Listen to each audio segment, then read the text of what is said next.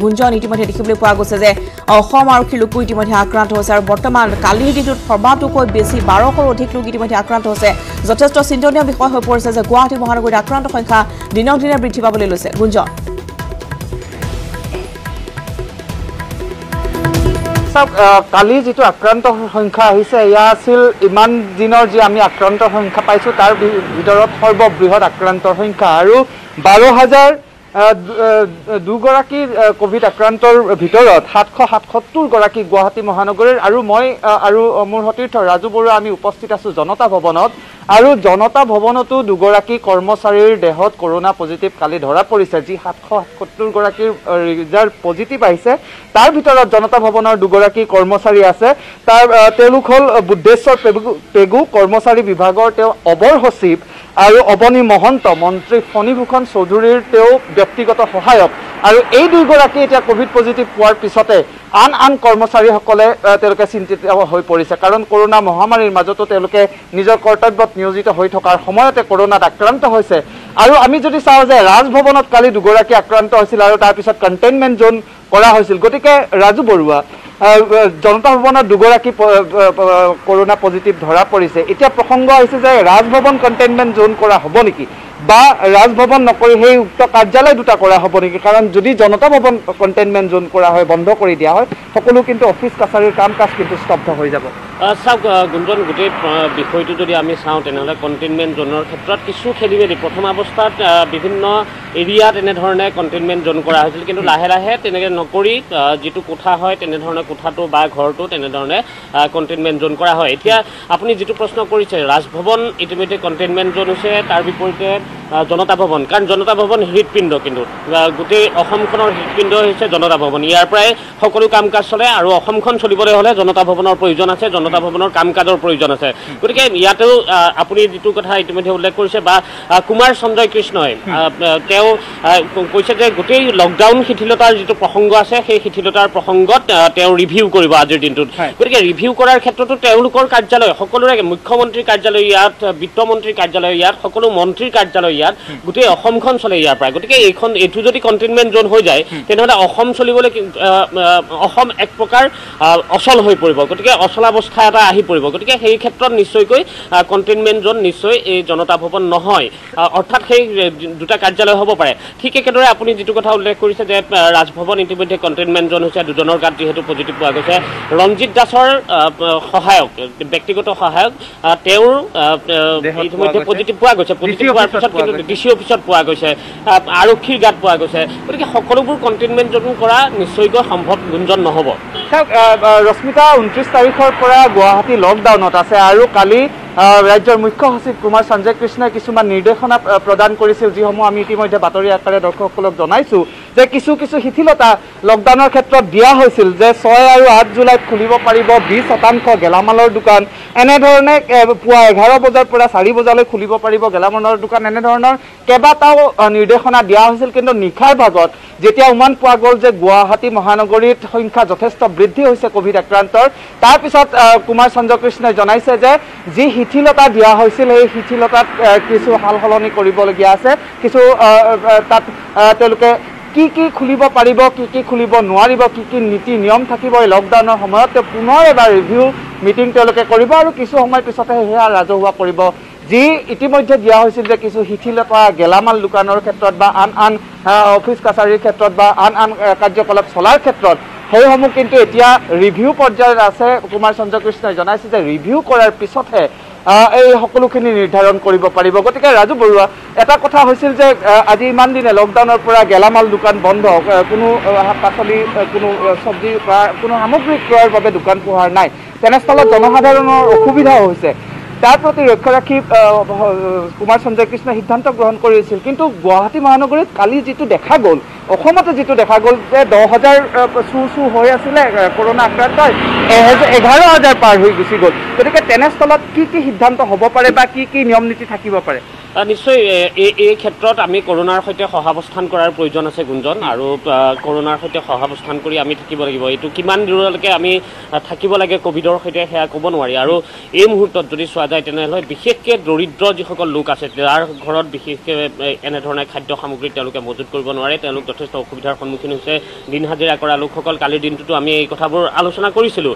আৰু আজি কিছু ভিডিঅ' আহি পৰিছে বা কিছু ক্লিপ অডিঅ' ক্লিপছ আহিছে। আহ, যিখিনিয়ে কিন্তু কিছু কথা এই ক্ষেত্ৰত এপছ যিটো মুকলি কৰিছে W W W dot covid nineteen covid Assam dot in যিটো এপছ আছে সেই এপছত গৈ পেলাই আপুনি চাব পাৰে আপোনাৰ পজিটিভ নে নিগেটিভ আপুনি চোৱাব দিয়াৰ পিছত। সেই চোৱাৰ পিছতো কিছু সংখ্যক লোকক এনেকুৱা মানুহকো উঠাই লৈ অহা হৈছে তেওঁলোক নিগেটিভ আছিলে তেওঁলোকে আহি পেলাই এপছত মাৰি পেলাই চাইছে তেওঁলোকক নিগেটিভ পোৱা গৈছে তাৰপিছত তেওঁলোকক কোৱা হৈছে যে আপোনালোকক যাবলৈ দিয়া হ'ব। তেনেকুৱা ধৰণৰ কিছু কথাও আহি পৰিছে এই সময়ছোৱাত ইতিমধ্যে মন্ত্ৰী পীযুষ হাজৰিকাই আপুনিয়ে সেই সময়ত সুধিছিলে যে তেতিয়া সোধোতে তেওঁ কৈছিলে যে এনেকুৱা ধৰণৰ হিউমেন এৰৰ কিছুমান হৈ যাবও পাৰে বা লগতে গুঞ্জন আৰু। এটা কথা সুধিব বিচাৰিছো। কালিৰ দিনটোত ৰাজু কৈছিল দেৱান বৰ্তমান অস্থায়ী যি স্বাস্থ্য শিবিৰ সেয়া ইতিমধ্যে তাত নিৰ্মাণ কৰা হৈছে। গতিকে যিহেতু আক্ৰান্ত সংখ্যা গুৱাহাটী মহানগৰত বৃদ্ধি পাবলৈ লৈছে গতিকে যথেষ্ট এতিয়া চিন্তনীয় বিষয় হৈ পৰিছে স্বাস্থ্য বিভাগৰ বাবে। আৰু হয়তো স্বাস্থ্য শিবিৰ খুলিব লাগিব নতুনকৈ চেণ্টাৰ যি কভিড চেণ্টাৰ বুলি কোৱা হয়। চাওক ৰশ্মিতা কভিড আক্ৰান্তৰ সংখ্যা যেতিয়া বৃদ্ধি পাবলৈ ধৰিছিলে তেতিয়াই এটা সমস্যা দেখা গৈছিলে যে স্বাস্থ্য খণ্ডত বিশেষকৈ চৰকাৰী খণ্ডৰ চিকিৎসালয়সমূহত স্বাস্থ্যসেৱা চলি আছিল। তাৰপিছত যেতিয়া আক্ৰান্তৰ সংখ্যা বৃদ্ধি হ'বলৈ ধৰিলে তেতিয়া খেলপথাৰক চিকিৎসালয়ৰ ৰূপ দিয়া হ'ল। আপুনি ইতিমধ্যে কৈছে যে মণিৰাম দেৱান ট্ৰেড চেণ্টাৰ ইতিমধ্যে সাজু কৰি থকা হৈছে। আৰু কালি আমি এটা বাতৰি কৰিছিলোঁ যে ব্যক্তিগত খণ্ডৰ চিকিৎসালয়সমূহো এতিয়া প্ৰস্তুত হৈছে। কোনো কোনোৱে ইতিমধ্যে দহখন বিচনা প্ৰস্তুত কৰিছে কোনোৱে এঘাৰ কোনোৱে ষোল্ল। এনেধৰণৰ গুৱাহাটী মহানগৰীত যিসমূহ ব্যক্তিগত খণ্ডৰ চিকিৎসালয় আছে তেওঁলোকে প্ৰস্তুতি চলাইছে যাতে তেওঁলোকে ক'ভিড চিকিৎসা যাতে প্ৰদান কৰিব পাৰে। কিন্তু এইখিনিতে ৰশ্মিতা আন এটা কথাও মন কৰিবলগীয়া কালি যদিও বা যথেষ্ট গৰিষ্ঠ সংখ্যক ক'ভিড আক্ৰান্ত পোৱা গৈছে কিন্তু একেধৰণে সুস্থ হৈ উঠা লোকৰ সংখ্যাও কিন্তু চাৰিশ ষোল্ল গৰাকী আছে।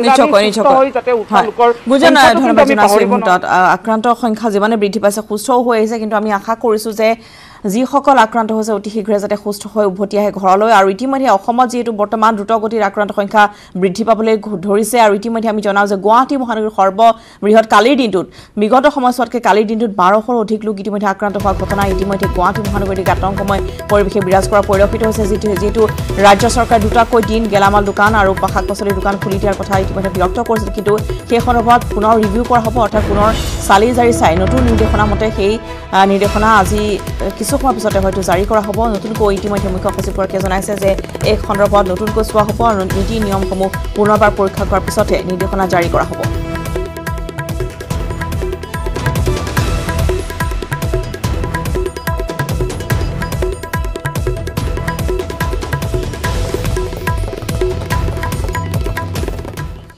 আহি পৰিছে। এক ব্ৰেকিং নিউজ মালিগাঁৱৰ পৰা মালিগাঁও তেপন্নজনৰ দেহত ধৰা পৰিছে কৰোণা শনিবাৰে মালিগাঁৱৰ এশ বিৰাশীজনৰ কৰা হৈছিল নমুনাৰ পৰীক্ষা আৰু এশ বিৰাশীজনৰ ভিতৰত তেপন্নজনৰ শৰীৰত ধৰা পৰিছে কভিড নাইণ্টিন পজিটিভ পুনৰ জনাইছোঁ মালিগাঁৱত। পূৰ্বতেও মালিগাঁৱত বহু সংখ্যক লোক আক্ৰান্ত হৈছিল কিন্তু পুনৰবাৰ মালিগাঁৱত তেপন্নজনৰ দেহত ধৰা পৰিছে কৰোণা শনিবাৰে মালিগাঁৱৰ এশ বিৰাশীজনৰ কৰা হৈছিল নমুনাৰ পৰীক্ষা আৰু এশ বিৰাশীজনৰ ভিতৰত তেপন্নজনৰ দেহত ধৰা পৰিছে কৰোণা ইতিমধ্যে আমি জনাইছোঁ যে গুৱাহাটী মহানগৰীত কালিৰ দিনটোত সৰ্ববৃহৎ লোকৰ আক্ৰান্ত হৈছে আৰু ইতিমধ্যে সাতশ সাতসত্তৰ গৰাকী আক্ৰান্ত হৈছে শনিবাৰৰ দিনটোতেই আৰু দেখিবলৈ পোৱা গৈছে যে মল- মালিগাঁৱত তেপন্নজনৰ দেহত বৰ্তমান কৰোণা ধৰা পৰিছে। এশ বিৰাশীজনৰ নমুনা পৰীক্ষা কৰাৰ পিছতেই ধৰা পৰিছে তেপন্নজনৰ শৰীৰত কভিড নাইণ্টিন আমাৰ সতীৰ্থ সাংবাদিক পাৰ্থই জনাব ফোন লাইনত আছে তেওঁ সবিশেষ খবৰ পাৰ্থ কি আছে খবৰ? এশ বিৰাশীজনৰ পৰা তেপন্নজনৰ শৰীৰত ইতিমধ্যে ধৰা পৰিছে কভিড নাইণ্টিন কোন কোন অঞ্চলত মালিগাঁৱত ইতিমধ্যে এইসকল লোকৰ ধৰা পৰিছে? অ, হয় ৰশ্মিতা নিশ্চয়কৈ মালিগাঁও কৰোণা হস্পিটেলত ৰূপান্তৰিত হৈছে। ইয়াৰ পূৰ্বতেও মালিগাঁৱত তালুকবাৰী আৰক্ষী থানাৰ যিজন আৰক্ষী বিষয়া তেখেতৰ গাত কৰোণা ধৰা পৰা গৈছিল আৰু মালিগাঁৱৰ পাণ্ডুত যিহেতু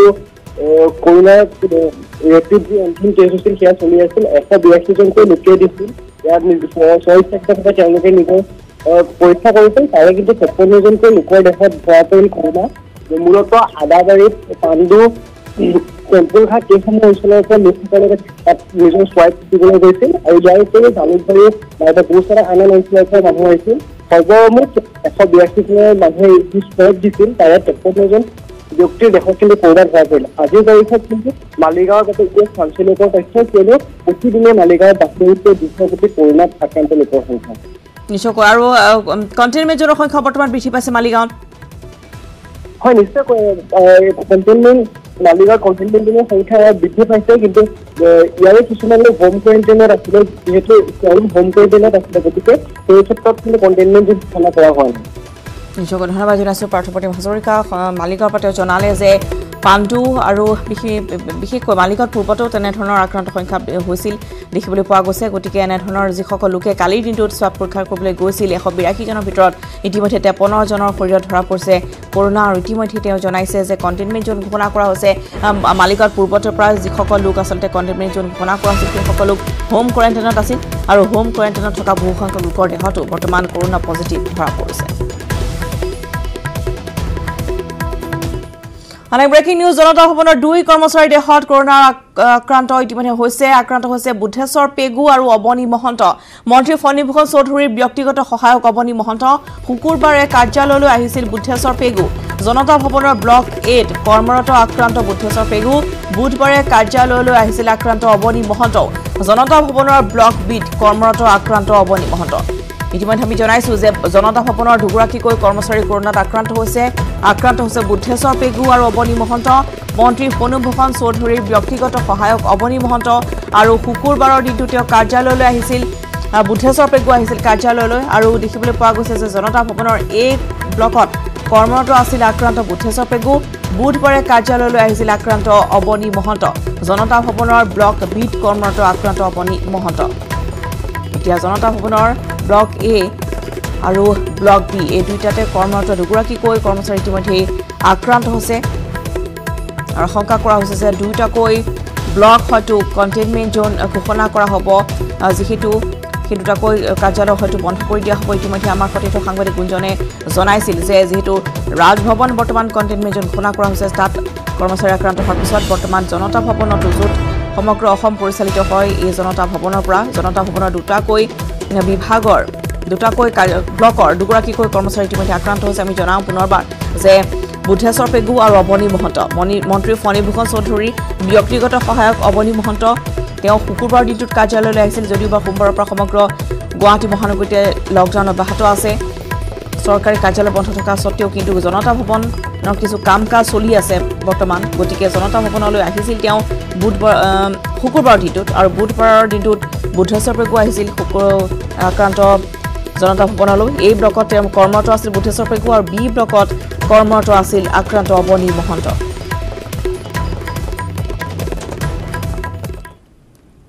ইফালে জি এম চি এইচৰ পুনৰবাৰ পাঁচগৰাকীকৈ কৰ্মচাৰী আক্ৰান্ত হৈছে কৰোণাত। আক্ৰান্ত অধীক্ষকৰ কাৰ্যালয়ৰ দুই সহায়ক আক্ৰান্ত ৰমণী তালুকদাৰ আৰু আনোৱাৰ হুছেইন।